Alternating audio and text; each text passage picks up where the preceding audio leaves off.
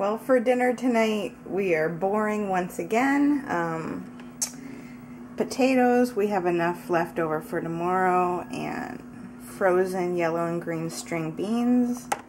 And then on the top, cauliflower and broccoli for me, and cauliflower and broccoli for my mom.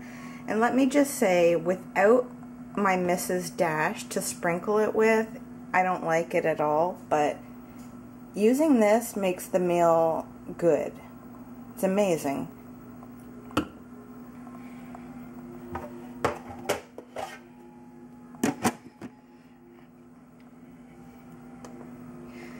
This is the kind of meal where you just set it and forget it. It's so easy. I love it. All you have to do is carry a little timer around with you and it'll let you know, you know, when to come and check it. I've got them timed pretty well. We have quite a bit of fruit flies hanging around. I notice that when I have a lot of fruit in the house, like bananas, and then they start to turn really ripe, the fruit flies just magically appear. So I saw this on YouTube. Um, it's a little trick to trap them. So what I did was I got a glass and then I put a little bit of apple cider vinegar in it and an orange peel and then I sort of made a cone out of a piece of paper. So once they get in there hopefully they'll just get trapped and stay in there. Um, I didn't do a very good job making the actual cone so I used some tin foil sort of to cover it. It just wasn't big enough but I'm gonna give it a few hours and see what happens. Here's my blog.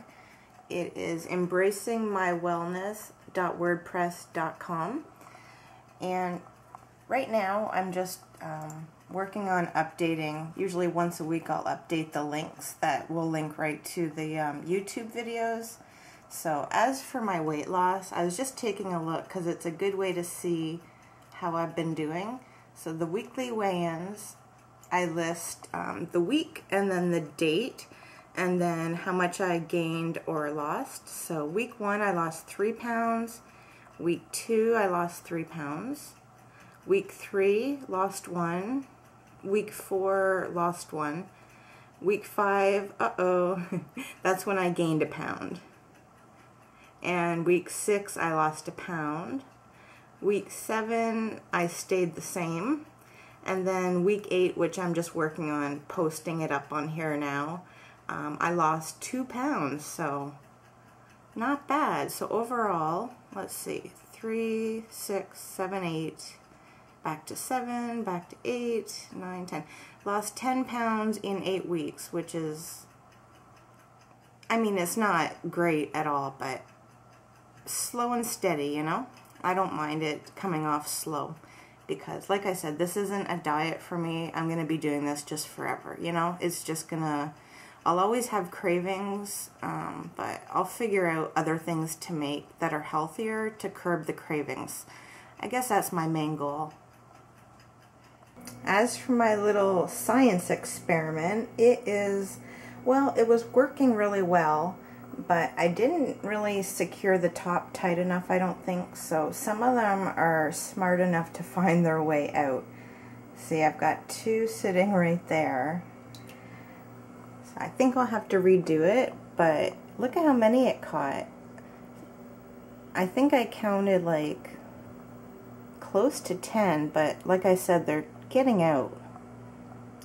So I'm going to fix this, but it, it's working really well. I decided to enroll in like a little course.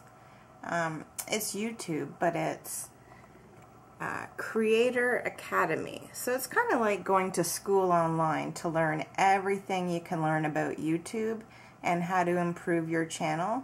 So right now I'm on this Grow Your Audience course. It's like a boot camp and it's pretty neat. Um, it's got like some things you can read. It's actually a two-week course, but it's self-study, so you can really do it uh, at your own pace. And you can get a certificate at the end of the course if you do like do it within a certain time frame. I've already missed the time frame, so I'm just going to do it at my own at my own pace. So there's a course checklist and yeah, it's a video and then you read and you can interact with other people who are taking the course. So yeah, I'm excited. I have a lot more to learn about YouTube and I very much want to make my channel the best it can be. So the first the first course is about your title and thumbnail. So yeah, it's pretty interesting and I think I'll get a lot out of it. I'm about to walk on the treadmill. I'm just going to do 10 minutes on here because I'm worried about it overheating.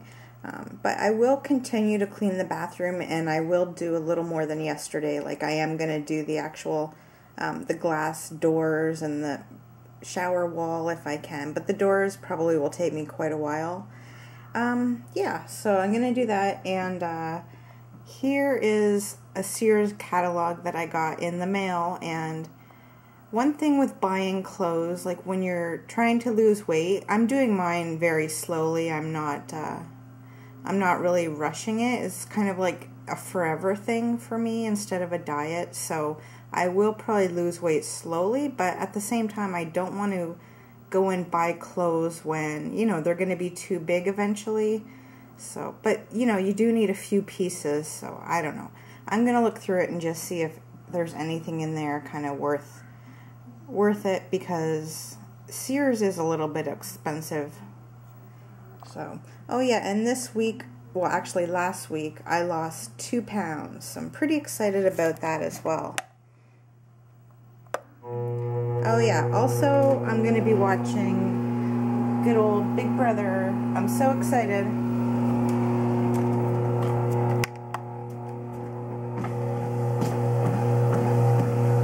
I did 10 minutes and I'm going to get right on to cleaning the bathroom. I'm really looking forward to this meditation online. It starts August 11th, so, you know, about a week or so I will start to do it. And I think it's, yeah, 21 days, so you do it every day. I'm really interested to see if it's going to, like, relax me more and help with anxiety. I think it will.